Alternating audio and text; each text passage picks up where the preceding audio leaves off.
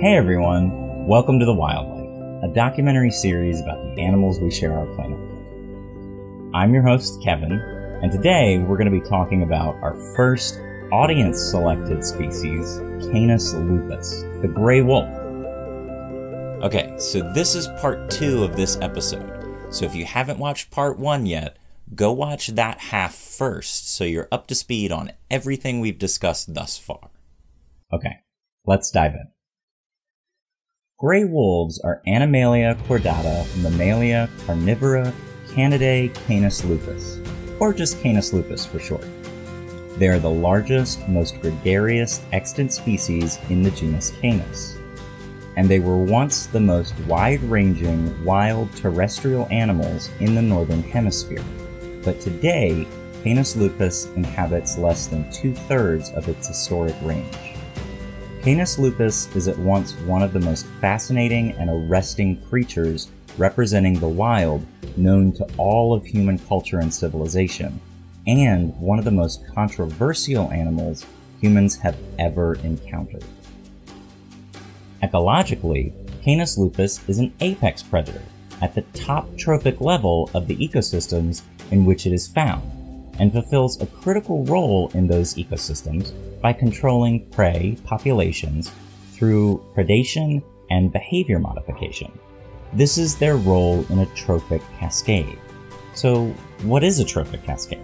Well, a trophic cascade is an ecological model where one trophic level of a food chain controls or modifies another, and thus the one adjacent to it, and so on.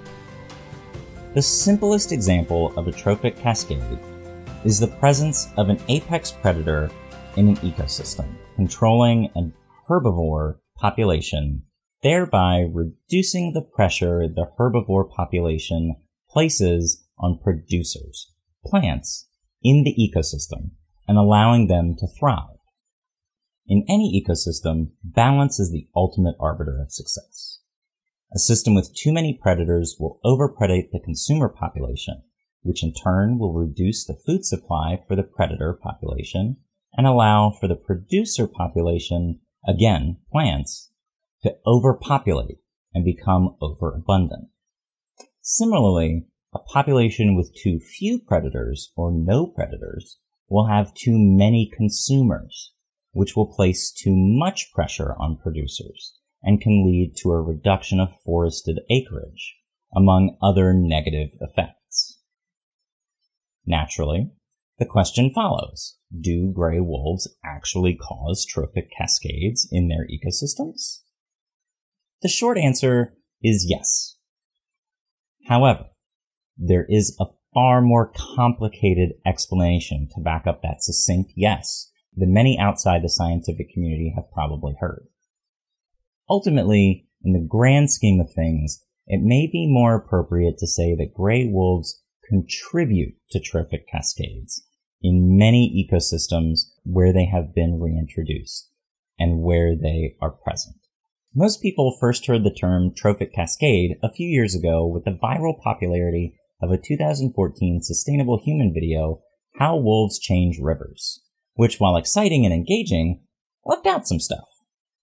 Sustainable Human does a good job of summarizing a top-down trophic cascade and the implications for other mesopredators in the Yellowstone ecosystem. But they make a few editorial decisions that omits critical information about the ecosystem that scientists like David Mech and Doug Smith, who's the project leader for the Yellowstone Gray Wolf Re- Restoration Project in Yellowstone, would disagree with. Smith is quoted in an interview with David Mech in International Wolf magazine as saying, The danger we perceive is that all changes to the system, now and in the future, will be attributed solely to the restoration of the wolf. See, we humans like to have a tidy cause and effect relationship for things. This begets that. But that's simply not how nature works in most cases. What the popular video doesn't take into account in its summary is a confluence of events, including the increase of growing season for aspens since 1995 of about 27 days, which could have contributed to the taller aspen recordings in the study, the effects of drought on the park ecosystem, and bison-borne brucellosis, which can spread to elk.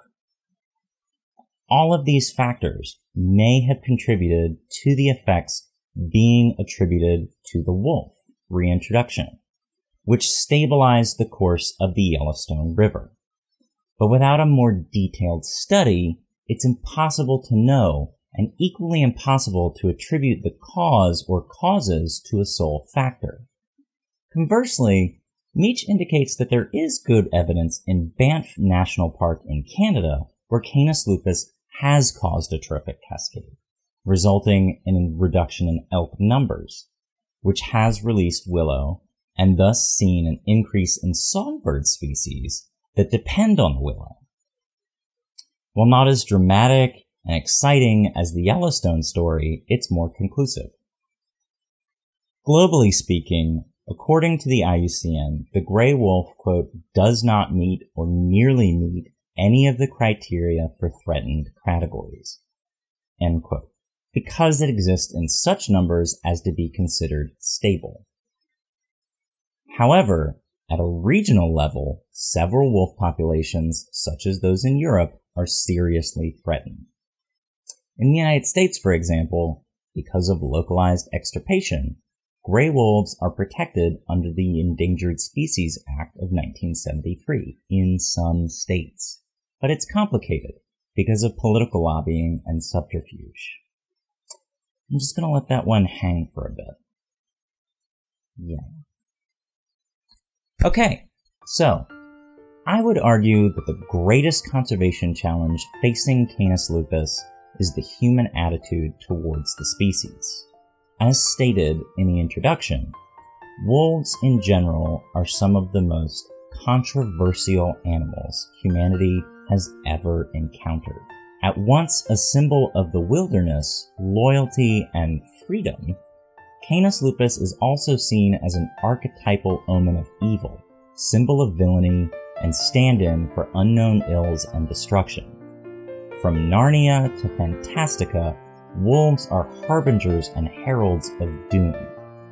And these historical attitudes and paranoias continue to color our perceptions of Canis lupus today.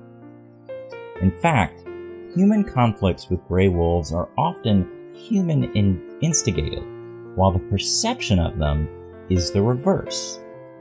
But the data just doesn't support our supposition of gray wolves as aggressive and evil creatures. So one's left asking, why do we have this perception? And why do we cling to it?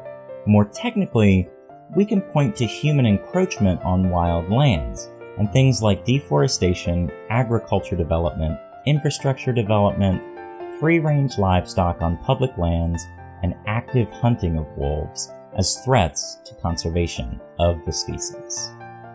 But politically and ethically, I think, and this is just my opinion, it is the pervasive attitude towards Canis lupus as a threat to humans that underrides all of these actions and efforts of wolf extermination and extirpation. From our stories to the modern day lobbying efforts backed by Big Ag, the pervasive belief that gray wolves are evil, violent, aggressive, and ferocious killers, threats to human survivability and prosperity, and must be wiped out has driven our collective, obsessive, ongoing conflict with this species. Luckily for the wolf, and for us, there's some movement on that front. As Boitani, Paquet, and Musiani write in their book, The World of Wolves, New Perspectives on Ecology, Behavior, and Management, quote, Wolves have only been recognized as valuable ecosystem components by ecologists and the general public in the last part of the 20th century. Subsequently, governments and other interest groups have promoted initiatives to help wolf recovery and recolonization, or to reintroduce wolves in areas where they had been previously extirpated. So that's it for today. I hope you enjoyed the show and that you learned something fun and interesting about the gray wolf, Canis lupus. Patrons and Stareable members, Don't forget to please tune in to the bonus episode for even more Grey Wolf content I wasn't able to fit in here. Check out the references in the description and some suggested reading for those of you hungry to learn more. Articles from JSTOR can be accessed through your local library, so make sure you've got your membership card. I've also shared some links to Grey Wolf conservation efforts and research programs if you're interested in ways to support these essential apex predators in the wild and grow our understanding of their roles in the ecosystem. If you like this and other episodes of The Wildlife, please consider supporting the show through Patreon or Stareable. An episode like this one costs almost $400 to produce, and every bit of your support helps bring new content to the audience of explorers and learners. Please share with your friends and family, teachers, and professors. Let's build a community together. Until next time, stay wild.